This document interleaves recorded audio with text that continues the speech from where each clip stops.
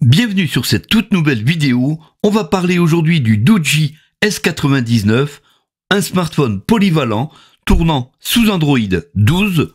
Le Doji S99, un smartphone pour les baroudeurs, un smartphone complètement accessible via Tollback. On en parle dans cette vidéo. C'est parti les amis, déballons ensemble le tout dernier smartphone de chez Doji, le S99. Vous avez envie de tester Android, le Doji S99 est fait pour vous. On sera donc sur un smartphone complètement dingue avec des capacités et des fonctionnalités hallucinantes. Il verra même la nuit pour vous et tout ceci grâce à son capteur infrarouge. Le Doji S99 est livré dans un package ultra premium. On est donc sur un smartphone assez épais, doté d'un écran de 6,3 pouces 1080 par 2340, vraiment un très bel écran que vous allez apprécier aussi bien le jour que la nuit. Côté taille, on sera donc sur un smartphone de 82 mm sur 172 mm de long et 15,5 mm de large. Un très bel appareil doté d'un processeur ARM A76 cadencé à 2,5 GHz. Équipé d'origine de 128 Go de mémoire interne, vous allez pouvoir étendre sans aucun problème sa mémoire avec une carte micro SD allant jusqu'à 256 Go. À l'intérieur, vous allez pouvoir lui glisser une carte nano SIM.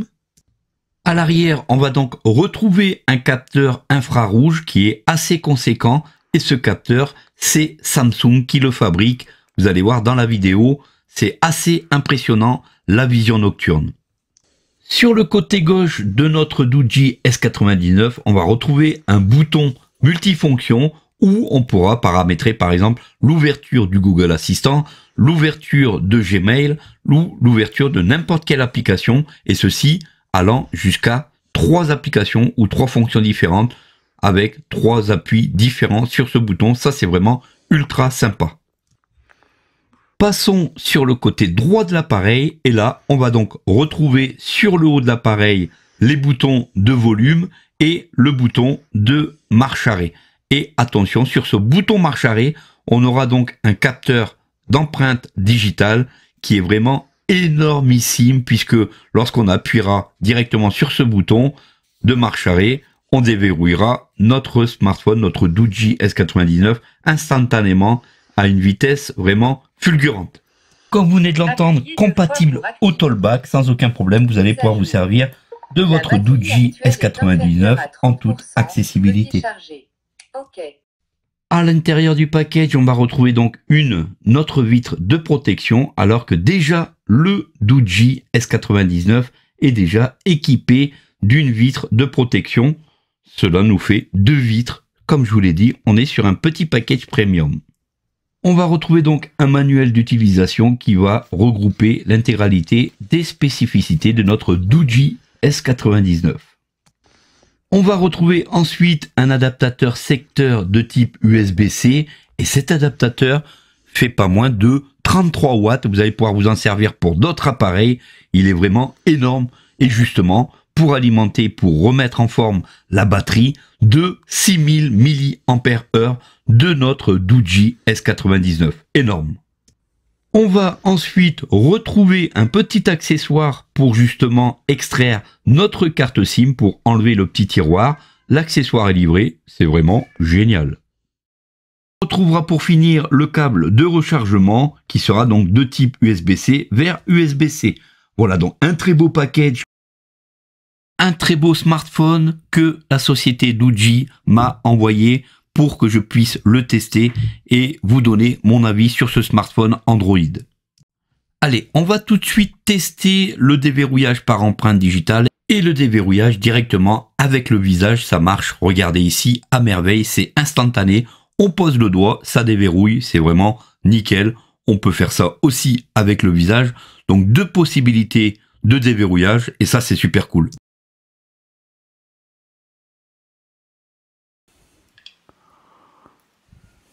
Je crois d'ailleurs que c'est l'un des capteurs d'empreintes digitales les plus performants que j'ai pu tester pour l'instant sur tous les téléphones. Le capteur photo avant étant un capteur selfie de 32 millions de pixels, c'est vraiment énorme. Voilà donc ici on est directement avec la caméra avant du Doogee S99 et alors on est vraiment sur la caméra qui fait des selfies et on se trouve en vidéo. D'ailleurs vous pouvez entendre le son actuellement, vous me direz ce que vous en pensez.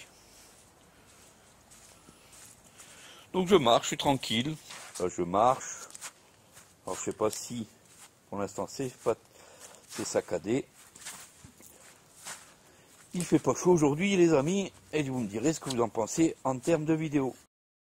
Alors l'arrière on va retrouver un capteur photo infrarouge et là c'est vraiment extraordinaire et ce capteur photo fait exactement 64 millions de pixels, c'est vraiment énorme. Regardez ici, j'ai fait une petite vidéo à l'extérieur, vous me direz ce que vous en pensez avec quelques petites photos. Alors, le petit problème avec ce genre de téléphone, c'est que lorsqu'on filme, il n'y a pas de stabilisation. Donc, ce qui veut dire qu'il vaudrait mieux avoir un stabilisateur pour avoir une bonne vidéo, pour stabiliser la vidéo. On va pas se mentir, ici, la vidéo n'est pas du tout stabilisée et ce n'est vraiment pas beau à regarder. Je vous conseille, si vous faites l'achat de ce genre d'appareil, d'acheter un petit stabilisateur à main, qui serait vraiment plus joli au niveau de l'image lorsque vous allez tourner la vidéo. Côté son, c'est plutôt pas mal. Et côté photo, je vous mets tout de suite les photos que j'ai pris directement avec ce capteur 64 millions de pixels. Et ici, on peut s'apercevoir que côté photo, on a quand même un très bon rendu sur les couleurs, sur les gris, sur les blancs. On a vraiment de belles photos qui s'offrent à nous avec des très bons clichés. La couleur de l'herbe, par exemple, ici est parfaite. Dites-moi ce que vous en pensez en commentaire. Moi, je trouve ça assez sympa comme photo. Avec ce Doogee S99, vous allez pouvoir aller dans l'eau. Vous pouvez vous doucher avec cet appareil puisqu'il est IP68 sans problème. Vous pouvez l'immerger un mètre sous l'eau pendant plus d'une demi-heure sans vraiment rencontrer de problème avec le smartphone. Sa batterie est de 8000 mAh, ce qui en fait vraiment un smartphone énorme avec une énorme batterie, donc plusieurs jours d'autonomie, à peu près 3 jours suivant votre utilisation. Un écran très agréable et un écran très fluide. Comme vous pouvez voir ici, la fluidité est au rendez-vous.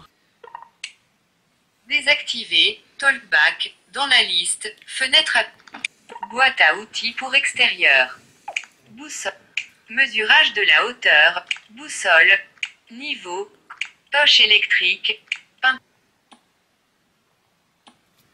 peinture à la main, agrandisseur, sonnette d'alarme, perpendicule, goniasmomètre, sonomètre. Quelques outils pour les bricoleurs, ça c'est plutôt cool. Ouvrir les paramètres. Menu marche arrêt. Modifier l'ordre des pas. Ouvrir. Paramètres. Rechercher dans les paramètres.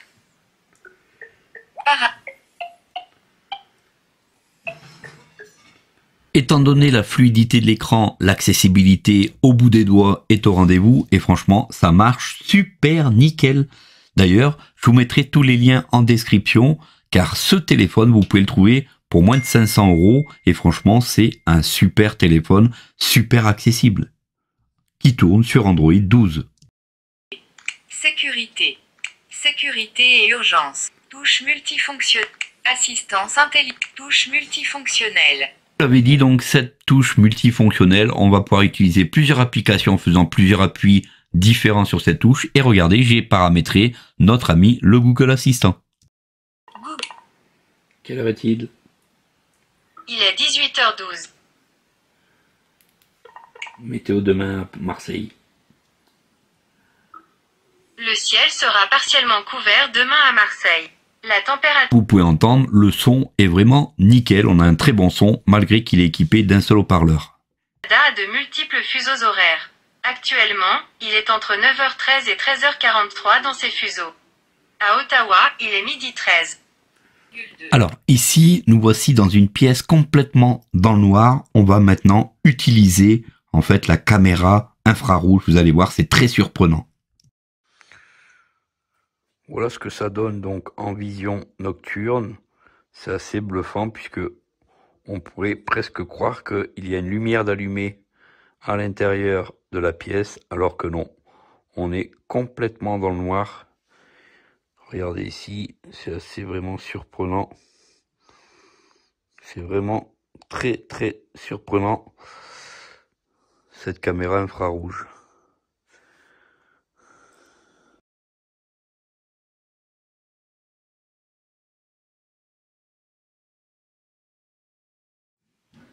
Allez, on se lance un petit jeu asphalte, c'est parti.